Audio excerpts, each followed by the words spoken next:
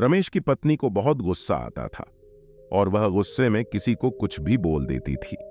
लेकिन ज़्यादा गुस्सा और फालतू बोलने की वजह से कभी कभी उसके घर वालों को काफ़ी दुख होता था कि उसे इतनी भी समझ नहीं है कि गुस्से में क्या बोलना चाहिए और क्या नहीं बोलना चाहिए। लेकिन गुस्सा करने के बाद जब उसका गुस्सा शांत होता, तब वह आके माफ़ी भी मांगती कि मेरे से बहुत बड़ी गलती हो गई, मुझे क्षमा करें। आगे से मैं ऐसा बिल्कुल नहीं करूँगी। लेकिन इतना करने के बाद भी उसका गुस्सा कभी खत्म नहीं होता था। और वह हर छोटी छोटी बात पे गुस्सा और हर छोटी छोटी बात पे चीज़ों को काफ़ी गुस्से के बोलना उसकी आदत बन गई थी।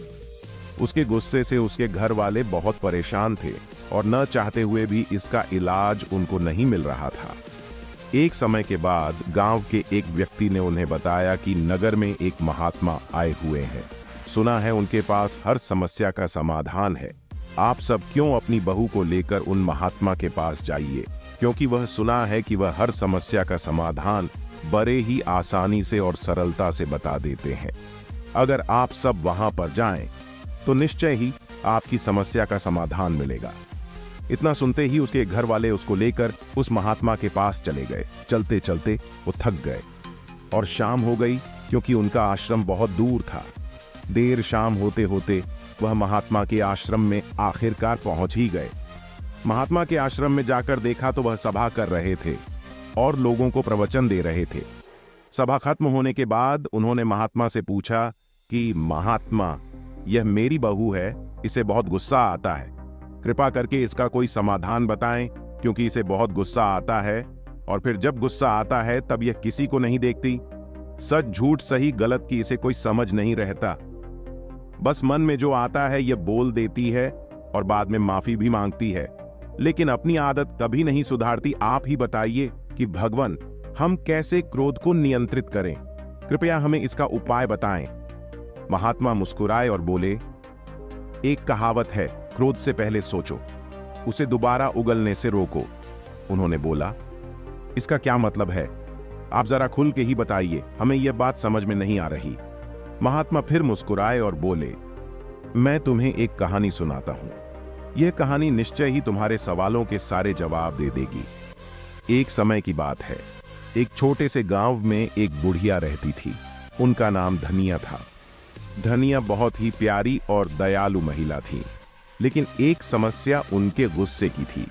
वे छोटी छोटी बातों पर बहुत जल्दी गुस्सा हो जाया करती थीं। जब उसे गुस्सा आता तो कभी नहीं देखती। उसके सामने कौन है और कौन नहीं। वह सबको गुस्से में अपने से छोटा ही समझती थी। बुढ़िया जितनी गुस्सेल थी, उतनी ही लालची थी उसके। मन में धन और पैसों को लेकर अपार लालच था। एक समय बुढ़िया के पास खाने को कुछ नहीं बचा, और वह पैसे भी कमाना नहीं चाहती थी तो उसके मन में तरकीब सूझी। उसे याद आया, गाँव में मेला लगा है। क्यों ना इस मेले से कुछ लाभ लिया जाए? धनिया ने सोचा कि यह एक अच्छा मौका है कि उनके गुस्से को कुछ सीख मिले। उन्होंने गाँव के लड़कों को बुलाया और कहा, मेरे पास एक चुटकुला है। अगर तुम मुझसे हंस पाओगे तो तुम्हें मुझे एक सिक्का देना होगा। लेकिन अगर तुम मुझसे हंस ना पाओगे तो मुझे तुम्हें दो सिक्के देने होंगे। अब बुढ़िया अंदर ही अंदर बहुत खुश हो रही थी कि इन बच्चों को बेवकूफ़ बनाकर अब मैं पैसे भी कमा लूँगी और मेरा काम भी चल जाएगा। इन्हें भला क्या पता लगता है? बच्चे तो वैसे ही चुटकुला से हँसते हैं, लड़के राज़ी हो गए। धनिया ने चुटकुला सुनाना शुरू किया, परंतु उनकी बुद्धि इतनी तेज थी, वे सब उस बुढ़िया के बारे में अच्छी तरह जानते थे कि वह लोगों को बेवकूफ़ बनाती है और वह धन की कितनी लालची है। इसलिए सभी लड़के मिलकर पहले से ही प्लान बना लिए थे कि हमें इसके चुटकुले पर हंसना नहीं है और जो मर्ज़ी हो जा, हमें बेवकूफ़ नहीं बनना है। बुढ़िया ने उन लड़कों से पूछा क्या तुम सभी तैयार हो? लड़कों ने जवाब दिया हाँ बिल्कुल, हम सब तैयार हैं। आप चुटकुला सुनाओ। फिर बुढ़िया ने एक मज़ेदार चुटकुला सुनाया, लेकिन किसी भी लड़के ने थोड़ी सी भी हँसी नहीं निकाली। बुढ़िया थोड़ी सहमी, लेकिन उसे दो सिक्के डबल देने थे, इसीलिए उसने दे दिया। उसके मन में उपाय आया, उसने मन ही मन सोचा, अगले बार वो इससे भी बेहतर चुटकुला सुनाएगी और पक्का सबको हंसा के ही मानेगी। इस बार बुढ़िया ने फिर एक चुटकुला सुनाया, लेकिन इस बार भी कोई लड़का नहीं हंसा। अब बुढ़िया थोड़ी गुस्से में आ गई। वह जितनी बार भी चुटकुले सुनाती गाँव में से कोई भी लड़का नहीं हंसता, वे फिर सब धनिया के चुटकुले पर हंसने के बजाय अपनी हँसी को दबा लिया। उसके बाद धनिया ने एक बार फिर कोशिश की और फिर बार बार लेकिन हर बार उनके पास दो सिक्के देने ही पड़े। अब उसके पास कोई चारा नहीं बचा। अंत में बुढ़िया ने जितने भी सिक्के लिए थे, उन लड़कों को दे दिए और वहाँ से रोते रोते चली गई। उसने सबक लिया कि आज के बाद वो गुस्सा करना छोड़ देगी। इससे धनिया ने सीख ली कि गुस्सा करने से केवल नुकसान होता है। उन्होंने गुस्से को कम करने का निर्णय लिया और अब अपने गुस्से को बारीकी से संभाल कर रखती थी। उन्होंने समझ लिया कि हँसी और प्रेम के माध्यम से वे अपने आप को और अपने आस पास के लोग को खुश रख सकती थी। उसकी ज़्यादा लालच और ज़्यादा बोलने की वजह से उसने खुद के पैर पर कुल्हरी मारी थी और अब उसने सभी सारा कुछ गवा दिया। उसके पास अब पक्षचाताप करने को भी कुछ नहीं बचा। अंत में वह खाली हाथ घर को लौट गई। इस कहानी को सुनकर लड़की के माम बाप ने बोला, महाराज, अब आप ही बताइए, गुस्सा को आखिर कम कैसे किया जाए? आप जो बोलेंगे, हम निश्चय ही करेंगे। संत ने कहा अब मैं तुम्हें जो बातें बताने जा रहा हूँ, उन्हें तुम ध्यान से सुनो, क्योंकि यह बातें तुम्हारी ज़िंदगी बदलने वाली हैं। कम गुस्सा रखने के कई फ़ायदे होते हैं, जो हमारे स्वास्थ्य संबंध और मानसिक स्थिति को सुधार सकते हैं। ज़्यादा गुस्सा रखने से हमारे शारीरिक स्वास्थ्य पर बुरा असर पड़ता है। गुस्से के कारण हृदय रोग, उच्च रक्तचाप, मानसिक तनाव और अन्य स्वास्थ्य समस्याएँ हो सकती हैं। ये सच है, ज़्यादा गुस्सा इंसान को बीमार बना देता है और ज़्यादा गुस्सा करने से इंसान चिड़चिड़ा भी बन जाता है और एक गुस्से वाला इंसान हमेशा अंदर से बीमार ही रहता है।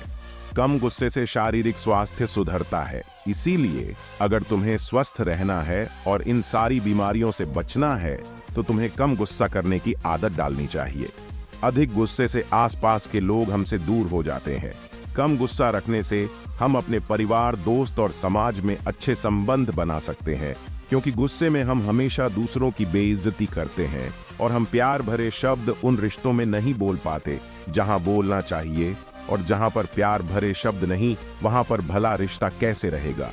क्योंकि रिश्ते प्रेम के सहारे चलते हैं और जिन रिश्तों में प्रेम नहीं और जिन रिश्तों में तुम प्यार से बात नहीं करोगे तुम प्यार से बोलोगे नहीं, वहाँ पर भला रिश्ते कैसे टिकेंगे इसलिए?